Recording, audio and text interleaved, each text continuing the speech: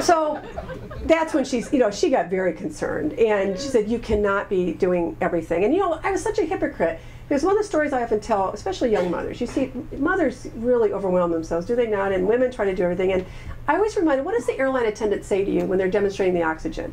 If you have a child or someone next to you who needs your help, put your own oxygen on first. Isn't that a great metaphor? Yeah. And women so seldom do it. Not only was I not doing it, I was giving every bit of oxygen I had away to other people. Mm-hmm. And so I needed to slow it down a bit. I also knew that I had to face the reality that it was time for me to take a leave because I but, couldn't really be involved. But, but, but, go more slowly into that because I found that uh, as, as a journalist myself and understanding where you were coming from, I, I, I felt that it was heavy handed when your newspaper decided they needed to put an editorial on the front page of the paper about your about your about who you are. Well, it was on the front of the um, forum section. The and forum, yeah, okay. it was. I wasn't happy about that. That I thought, you know, we'd made it clear I was married to Sherrod Brown. I didn't think there was a lot of confusion about that. But our, it was a form. It it was a, well.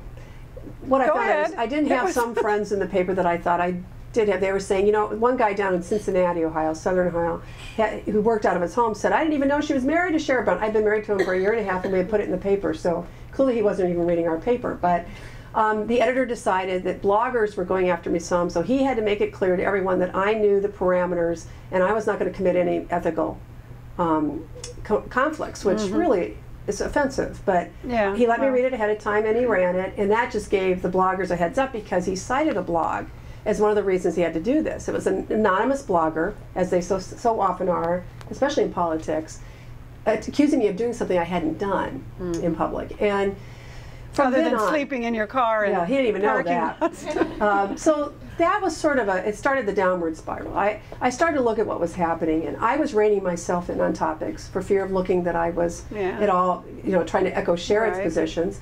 Um, my friends, dear friends, who are political writers, who I thought would probably recuse themselves. I mean, I had been in the delivery room for the birth of one of their children. Another one, I had coached his daughter in softball for five years, and another one had come to our wedding. None of them recused themselves from the race none of them identified themselves as close friends of mine. Well, so I'm giving everything except my underwear size in public. That's not happening on their side. And they were bending over backwards to show no prejudice in favor mm. of Sherrod, so they were just hammering him. We're the largest paper in Ohio. So I'm watching all this. I can't be at any public appearances with Sherrod. You know, I'm not speaking for him. I'm doing a lot of the strategy behind the scenes, which right. is part of the reason I was getting tired is on all the calls. And it just wasn't working. And I thought, I, and I say this in the book, I think especially women can identify with this. Many times we end up having to make a choice that doesn't really feel very good for us, but is right for everyone around us, the people we care about. And I Which in the end time. makes it good for us. Ultimately, you hope. Well, because sometimes if all of them are happy, yeah. you can go take a nap you know? Yeah, that, that was what was missing was the nap part, I the guess. nap but, part. But I did. I mean, I was really scared. I'm going to be honest with you. I was very scared about what would happen well, to me. well, somebody said to you, I assume it was a friend who said, uh, you know, Connie, face it, the media aren't your friends. My anymore. boss, my yeah. editor, and dear friend. That was a cold glass of water in the face. Yeah, he, but he was right. It, well, it, but still, the, the, the, the coming to terms with that. Yeah, yeah, because I went from being a colleague to a possible source in the newsroom. And so I found myself isolating myself more. They were isolating from me because they didn't want us to have a conversation that they would feel they need to follow up on. So small talk kind of evaporated in much of the newsroom for me. And I don't mean poor, poor me. My editor at Random House has a great saying, no whining on the yacht.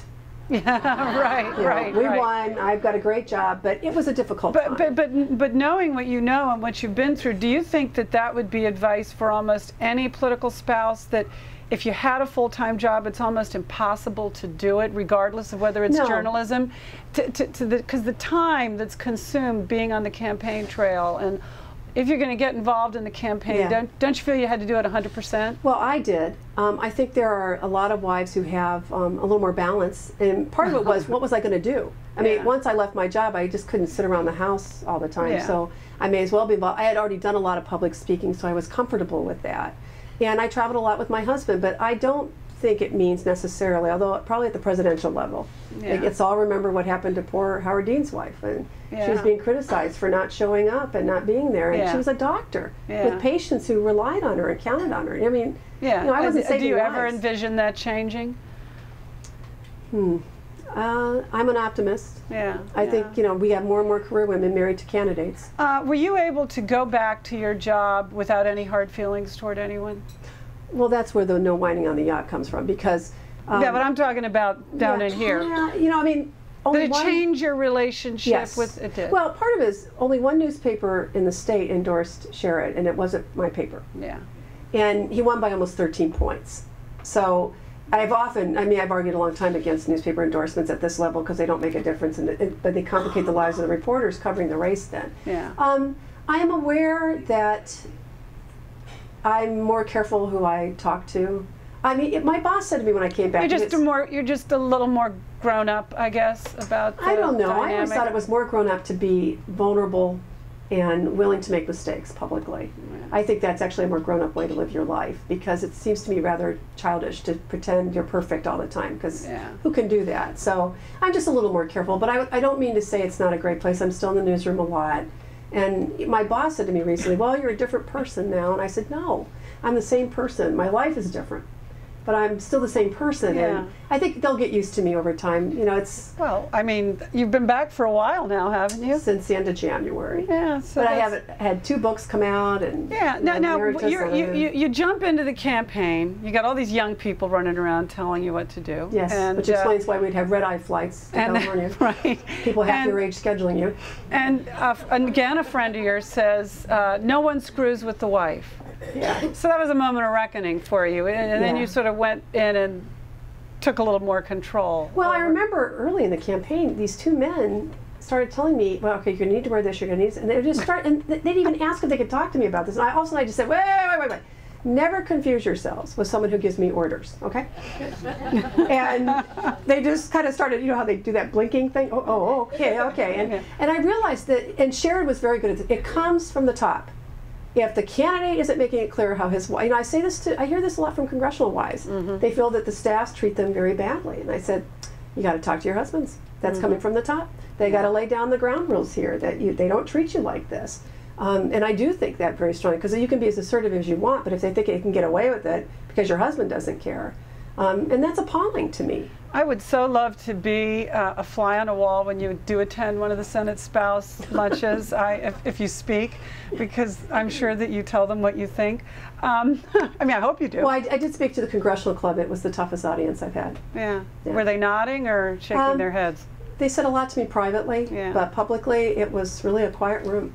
Yeah. it was really sobering. To, Yeah. And I don't mean that critically of them. I just, No, because it's a learning curve. Yeah. And, it- uh, and, and maybe if, if there is a, uh, a woman in the White House, some of those things will Yeah. ease up and change. Um, so you're campaigning, you, you- you're running against Mike DeWine, who I called Tom DeWine on my blog, but Mike DeWine, and um, he goes negative. He goes Yeah. negative with an ad that, that, Mhm. that has the Twin Towers, and, you, and you know Karl Rove's behind that. Yes, we, in fact, the New York Times confirmed it two weeks later. And um, uh, but the interesting thing is, you were figuring that he might go more negative, and that it would involve Sherrod's first wife. Right. And you were put in the very peculiar position of having to do a campaign commercial with his ex-wife. Can I feel your love here, please? And I'm thinking, does it really? Does it really get to that? yeah, it does, and here's why. One of the things we learned from the Kerry campaign, particularly in Ohio, is anybody goes after you, you hit back. You know, the, the, the motto was respond, pivot, and deck 'em. And the idea being, you don't take fault, you don't take lies sitting down. You don't let them say things that aren't true. game. And way back when, there were some allegations that she had since, has since recanted, but she made it against Sherrod, and we heard through a reporter actually first that they were going to use it in an ad, and that had been that had happened to Sherrod before in the past. So, so we negotiated, and she agreed with her two daughters and my daughter. My son was out of town that um, weekend, and we got an ad ready. And then we let them know quietly, and you know, we just I started. I wasn't so quiet. I'd give speeches, and they you'd always get somebody raising hand. What are you going to do if they're unfair in they're attacks? Well, let me tell you what we're going to do. And I'd say, and Sherrod's ex-wife and I have an ad waiting for him too, and you, you just see the room go, ooh. and uh, we never had to use it.